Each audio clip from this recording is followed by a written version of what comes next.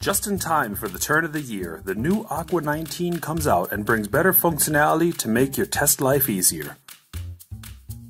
Our developers have provided Turbo for testing. You benefit from increased performance when working with test cases and test scenarios.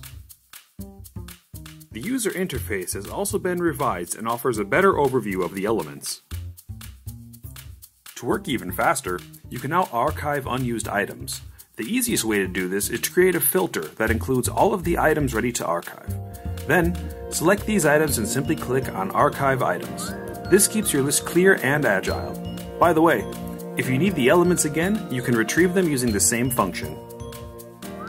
Communicate more efficiently with Aqua 19. The discussion function in the requirements window is now also available on the web. Create a new discussion in a requirement and mention your colleagues with an at symbol.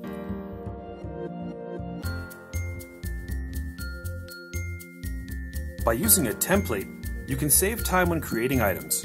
For example, if new defects always have a specific text or field values, you can store them in a template and use the information for all new elements right away.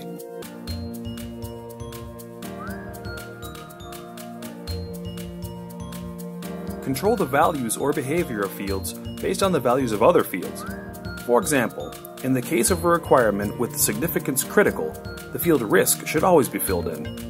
This makes it even easier to define rules and field dependencies. Save time during project configuration by using shared value sets. This allows you to use value sets in multiple fields or elements. Click on Manage Shared Value Sets to create a new value set. Then, assign it to a field in the project configuration.